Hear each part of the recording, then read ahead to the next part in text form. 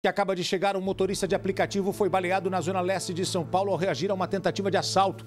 Segundo a polícia, o motorista estava com uma passageira no carro quando dois homens em uma moto se aproximaram. O motorista acelerou para escapar dos bandidos, mas acabou sendo baleado na cabeça. Ferido, bateu o carro em uma árvore bem em frente a uma escola. Vamos ver. O motorista de aplicativo foi atingido numa tentativa de assalto nesta rua da região de Guaianazes, na zona leste de São Paulo. O tiro foi na cabeça.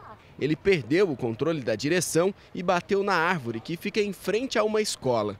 A vizinha ouviu o barulho do tiro. A gente escutou um barulho, fez pá! Aí o meu marido falou, oxe, o que está acontecendo? Porque meu filho estava do outro lado da rua, né? Aí a gente veio descendo, aí veio descendo, meu marido veio descendo, aí a gente já ouviu a fumaça. Aí o Zé Carlos, aí meu marido desceu, quando chegou aqui no portão, o cara já desceu do carro correndo, tadinho. Com a cara cheia de sangue, pedindo, moço, me leva para o hospital, me leva para o hospital. Ela e outros vizinhos ajudaram a socorrer o motorista. Estava passando um cara com um carro aqui, Tá até com duas cadeirinhas dentro do carro. Aí eu pedi para ele, moço, por favor, moço, leva o moço para mim na, na, no coisa, porque falou assim, hospital. no hospital, porque teve um acidente. Aí falou assim, moça, mas não, não é briga. Eu falei, não é não, moço, pode levar sossegado.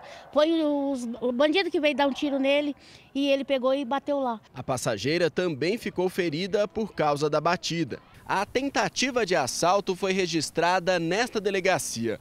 Os investigadores ainda não puderam ouvir os relatos das vítimas, mas buscam imagens de câmeras de segurança que possam mostrar quem atirou no motorista.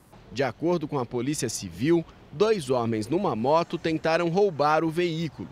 O motorista se assustou e tentou despistar os criminosos. Depois do tiro, a dupla desistiu do assalto e fugiu sem levar nada. Ele só pedia assim para a gente cuidar do carro dele.